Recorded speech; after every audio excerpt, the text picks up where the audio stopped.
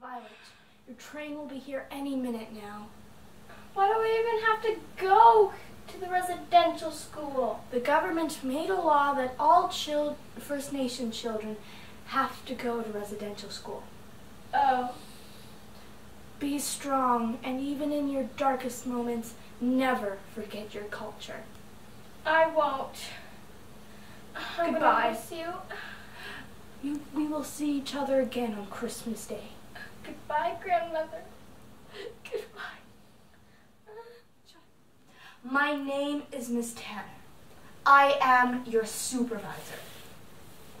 What happened with all my stones and my feathers and also my diary that my grandma gave me?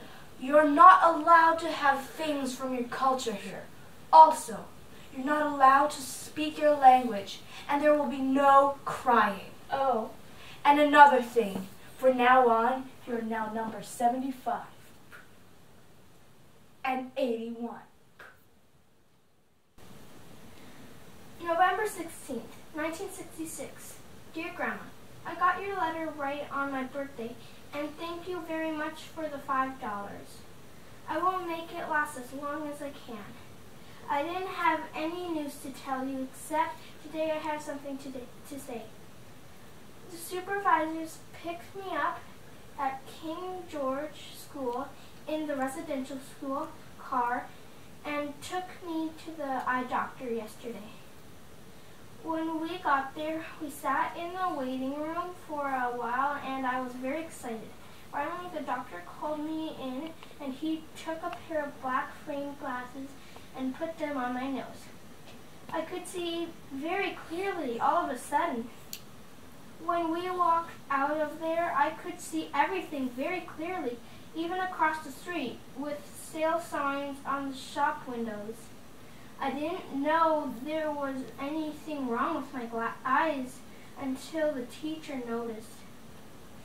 The supervisor then took me to see the eye doctor, and I had to read tiny letters across the room. That was when he checked my eyes and found which lenses I could see from the clearest, and then Miss Tanner picked out the frames for me. Now I have them on.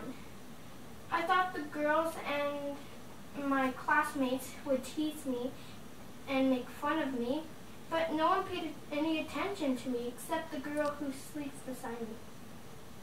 She crossed her eyes and stuck her tongue out.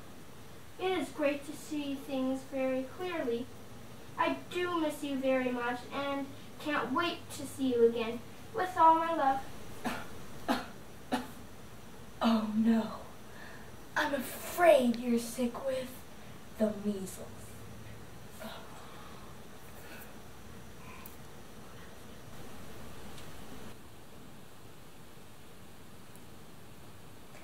Tuesday, December 20th. There was an announcement over the intercom. Our trip home has been cancelled. One of the girls has developed German measles, and we are quarantined. Uh, I can't stop crying. Everyone is red eyed.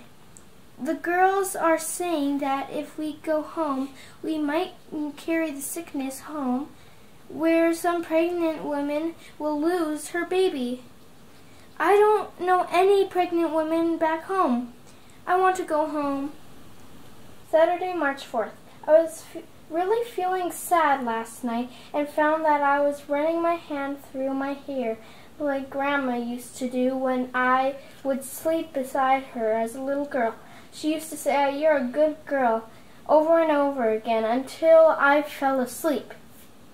I began to relax and it helped me to go to sleep, imagining Grandma saying that over and over again. Oh, Grandma, Grandma, it feels so good to be back. Welcome home for Easter, my child. Sometimes I wonder if I will ever go back to the residential school. We'll see, my child. We'll see.